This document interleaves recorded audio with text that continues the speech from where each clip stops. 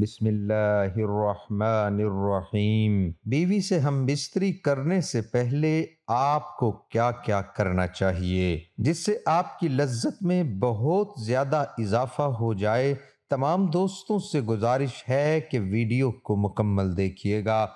मोहतरम नाजरीन, मुबाशरत से पहले बिस्तर पर एक मोटा कपड़ा बिछा लिया जाए। ताकि फ़र्ज़ से बाहर निकल, बह निकलने वाली फालतू मनी बिस्तर को खराब न करे। इसी तरह मुबाशरत के बाद शर्मगाहों की सफ़ाई के लिए पहले से एक करीब एक साफ़ कपड़ा भी रख लें। बाकायदा मुबाशरत से पहले मियाँ बीवी का चंद मिनट के लिए एक दूसरे के जिस्म से खेलना दोनों में मोहब्बत पैदा करता है। पहले दोनों कपड़ों समेत अपने जिस्म को एक दूसरे के साथ मसलें और कुछ देर बाद एक दूसरे के जिनसी आज़ा को हाथ से टटोलें और मसल कर इसे लज्जत दें और खुद भी लुत्फानंदोज हों और अपनी बीवी साथी को भी लुत्फानंदोज करें। लिबास उतारने से पहले चंद मिनट का यह खेल न सिर्फ़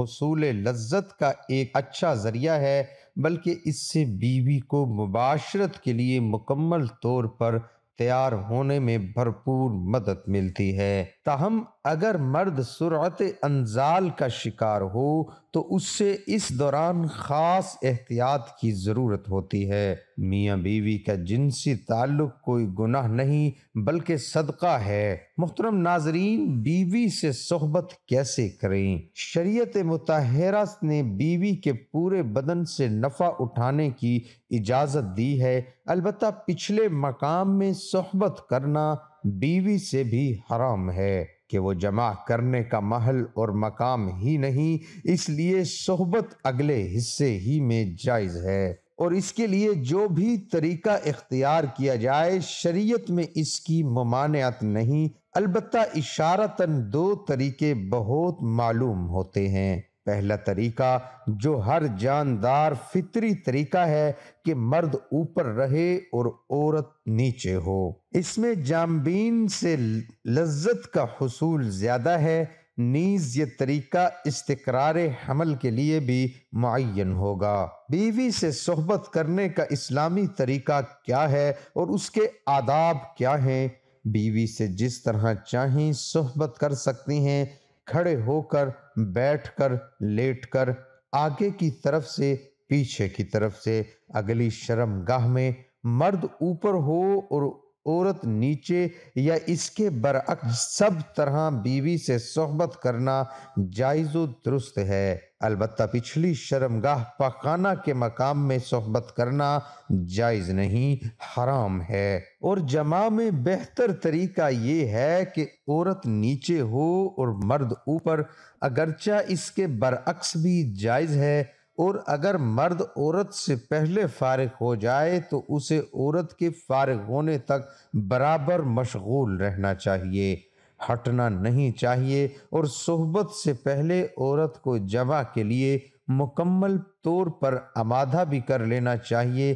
प्यारो मोहब्बत की बातें और काम के ज़रिए औरत को मुकम्मल तौर पर तैयार किए बगैर सोहबत करना अच्छा नहीं। और सोहबत के बाद दोनों को पेशाब भी कर लेना चाहिए, ताकि अगर मनी का कोई कतरा सुराख में रह गया हो तो वो खारिज हो जाए। मोहतरम नाजरीन, लज्जत से भरपूर बेहतरीन उसूल नंबर एक। मियाँ बीवी काम के अमल को पहले तय कर लें, ये एक बहुत लुत्फानंदोज होता है। नंबर दो, काम वाले कमरे को रोमांटिक बनाने के लिए अपने कमरे में लाइट मध्यम हो। मध्यम लाइट में औरत का जिस्म खूबसूरत और पुरकशिश दिखाई देता है। इसी तरह कमरे में अपनी पसंद का खुशबू भी लगा ले नंबर तीन काम से पहले मियाँ बीवी दोनों अपनी शर्मगाहों को ठंडे पानी से धो लें। ये मर्द की टाइमिंग में इजाफा करता है और औरत की शर्मगाह कदरे तंग हो जाती है,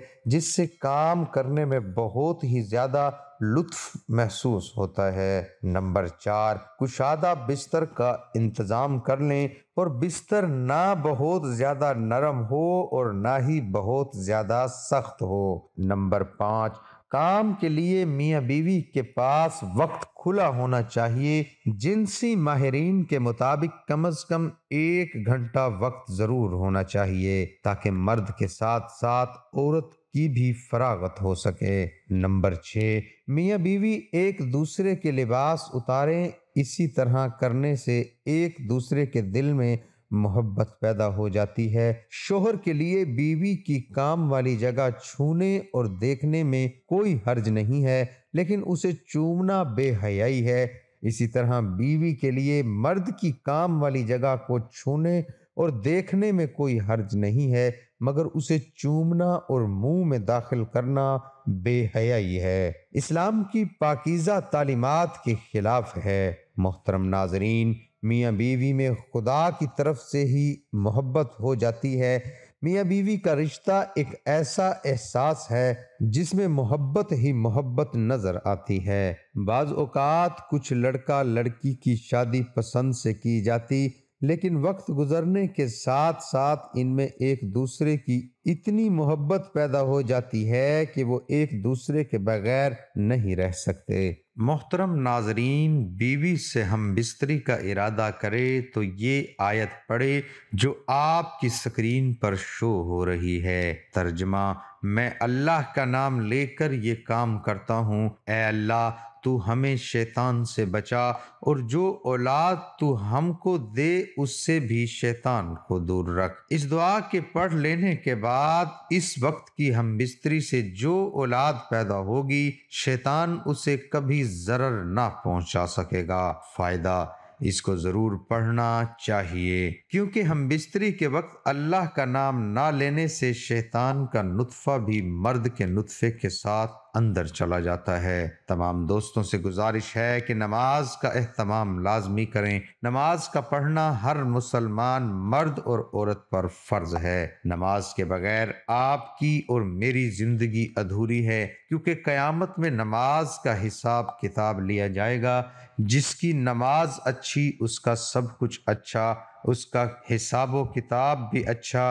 अल्लाह ताला हम सबको पाँच वक्त नमाज़ बाजमात अदा करने की तोफीक अता फरमाए। अल्लाह ताला हम सबको अपनी बीवी के साथ मोहब्बत करने की तोफीक अता फरमाए और अल्लाह ताला हम सबको अपनी बीवी के हकूक़ अदा करने की भी तोफीक अता फरमाए। दुआ है कि अल्लाह ताला मेरा सुनाना और आपका सुनना अपनी बारगाह इलाही में कबूल और मंजूर फरमाए। आमीन, सुम्मा आमीन। तमाम दोस्तों से गुजारिश है कि अल्लाह ताला के निन्यानवे नामों में से एक नाम कमेंट में ज़रूर लिखें।